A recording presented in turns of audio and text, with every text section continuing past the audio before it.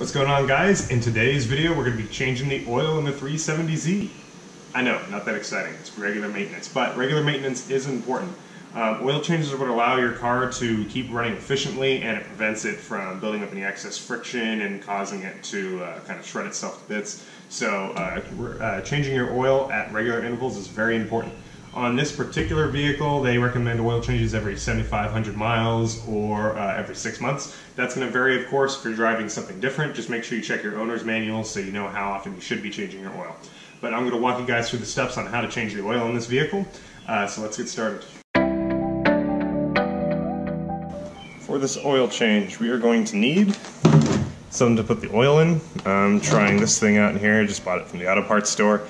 Uh, it's kind of like a oil catch pan and a container all built in one. So the oil is supposed to be able to just kind of pour on here, and then this drain plug is supposed to allow the oil to go into the container. So it'll be interesting to see how this works. You are also going to need a funnel to be able to pour the oil uh, into the engine whenever we're refilling it.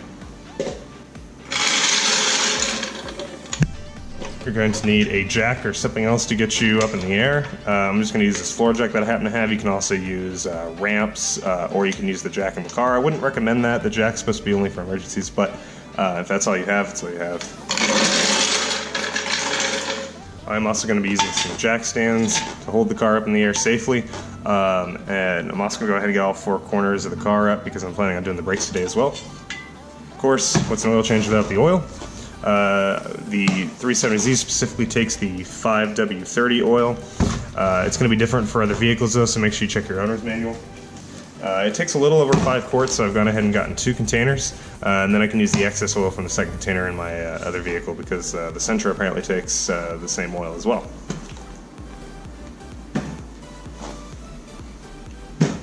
And when you're changing your oil, it's also a good idea to go ahead and just go ahead and replace the uh, oil filter. Uh, these things are pretty cheap. You can pick them up for anywhere from like five to ten bucks. So I'm just gonna go ahead and change that while we're in there. And though it's not strictly necessary, it's nice to have some latex gloves or nitrile gloves in this case. Um, just something to kind of keep the oil off your fingers when you guys are uh, undoing the drain plug. You will also need a couple of basic tools here. I've got a flathead. This is for taking off some of the clips, and then here's a 10 millimeter socket, which we're to use uh, to take off some of the bolts that hold on the uh, splash guard on the bottom. Also going to want a 14 millimeter socket and a fairly large socket wrench to be able to break the drain plug loose. And with all of our materials gathered, let's go ahead and get the car jacked up. Now before jacking the car up, you want to make sure you set your uh, parking brake by pulling this lever all the way up so that way the rear wheels can't move, um, especially if you're only going to jack the front end up like we're planning on doing today.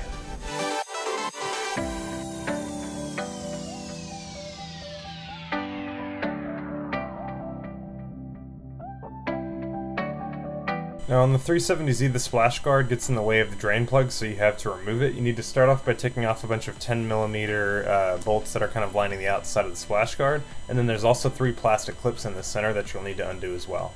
And just to show you guys in some better light because I know it was kind of dark down there, um, here's what that uh, undershroud, uh, that splash guard looks like. Um, you're going to have these metal bolts kind of look like this that are kind of just going around the perimeter here. I think you got um, something like 16 of these holes that are going to be around the outside. So you just need to take these off with that 10 millimeter. And then here's that plastic clip that I was talking about. Um, you can see here that Nissan has these like little grooves in them that you can stick a flathead in to kind of pop this tab up. And there's three of these that are kind of holding on to the center here. So you just need to pop those out and then this whole thing should just come out. Now, if your engine was just running recently, you want to be very careful because this is still going to be a little warm, even hot in fact, and you don't want to burn yourself. So if, it, if you just recently ran the engine, give it some time to cool down. Um, this black thing right here, that's your oil pan where all the oil kind of seeps into when the engine's off. Um, this little thing right here, this nut, that is your drain plug. We will remove this to drain all the oil here in a second. And then this white canister you see right here, that is your oil filter, and we'll be replacing this as well. All right, so next step, we're gonna need to go ahead and pop the hood.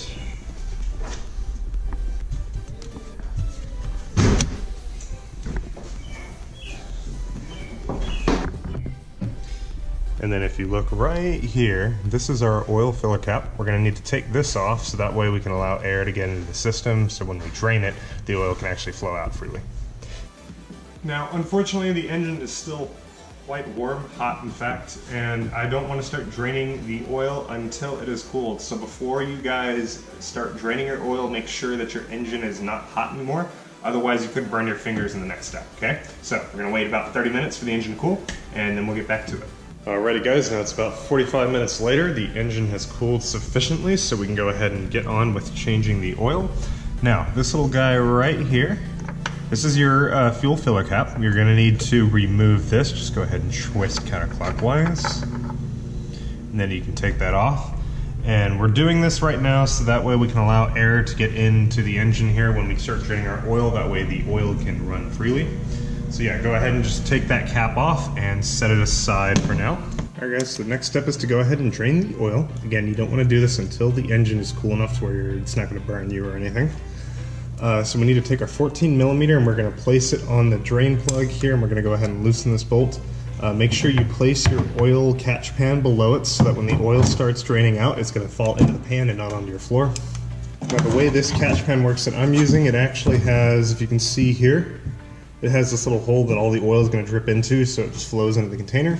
So what I'm going to do is I'm going to loosen this bolt just until it is finger loose, and then I'm going to slowly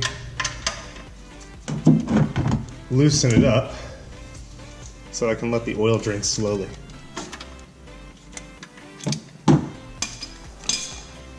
And we are slowly loosening this until the oil starts to seep. There we go. Yeah, so much for draining it slowly. Uh, at this point, you just need to wait a few minutes for the oil to drain before you remove the filter. Alright, now this next part can be a little tricky to do if you're just doing it with your hands, but we need to get the oil filter removed. Now, um, I usually just hand tighten these as much as I can. Um, however, the technicians at Nissan probably use the uh, tool, and it's going to be pretty difficult to get off, most likely. I'm going to see if I can remove this with my hands.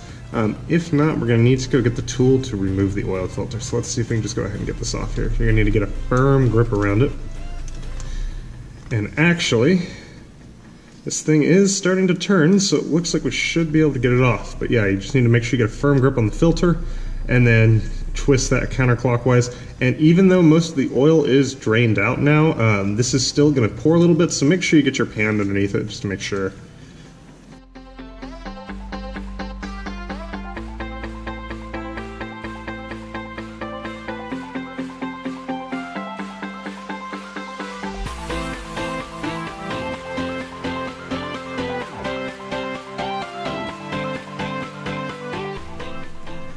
All right, and now that we have the old filter and the drain plug removed and all the oil's been drained, we need to go ahead and put the drain plug back into the oil pan. So go ahead and do that now.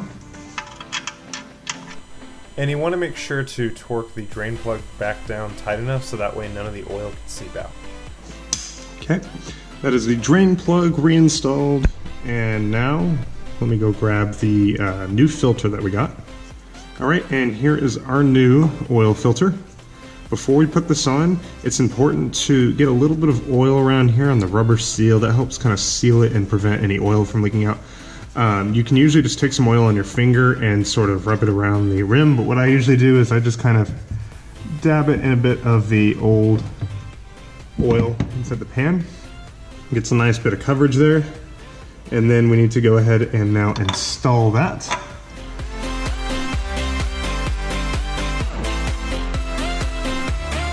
And you want to just make sure you get that on there as tight as you possibly can. With your hand, actually take the glove off so I can get as much kind of traction on as possible. But yeah, get this thing as hand tight as you can, and that's usually sufficient, at least for what I do. Um, you can get the little tool to make sure you tighten a little bit more, but uh, I usually just hand tighten it to make it easier to get it on and off. Um, Okay, so that's the filter replaced, and that's our drain plug put back in. Now it's time to go back to the top of the car, and we gotta pour in our new oil. All right, now that we are back on top of the vehicle, it is time to go ahead and start pouring in the new oil. Remember that this was the oil filler here that we just took the cap off. So we want to stick our funnel inside there, so that way it's easier to pour the oil in. And then of course you want to go ahead and grab your oil. Now, this car takes a little over five quarts from what I understand. I'm only gonna pour in about four of them to start with, and then I'm gonna check my oil levels as I go, because I don't wanna put too much oil in, and I don't wanna put too little. So I'm gonna start off by pouring in about four. You wanna do this kind of slowly. You don't want your funnel to overfill, and it takes some time for that oil to seep in.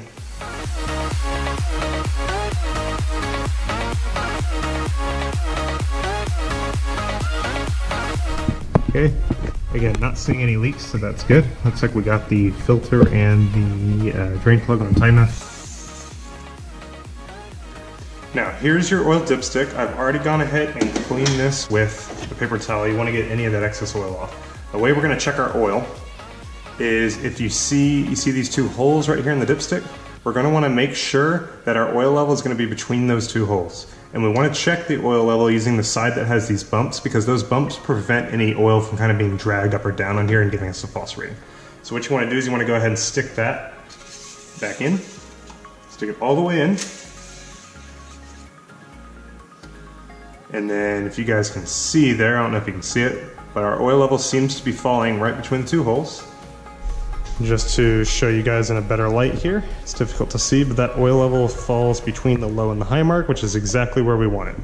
So since our oil level is good, you can just go ahead and put that back in, make sure it is on there tightly. When you hear the click, that means it's in. Okay, and once you got that dipstick uh, squared away and you got it twisted so it's tight, uh, we can then remove our funnel here. You want to be very careful about this, just to make sure you don't drip any oil where you don't want it. And then of course, don't forget to put your uh, oil filler cap back on here. Make sure to get that on tight.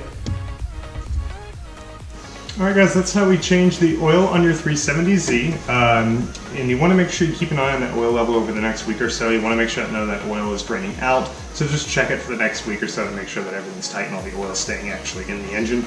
Um, also, with that old oil that we drained out, you don't want to just throw that away because that's technically illegal in a lot of places. Um, you should take that to either an auto parts store or an auto shop, somewhere where they'll dispose of it. Uh, and if you guys have any comments or questions on what we did today, just leave a comment down in the description below. I'm always looking for ways to improve, so if you see if I did something wrong, please let me know and I'll correct it. Uh, but anyways, thank you guys for watching, and I will see y'all in the next video.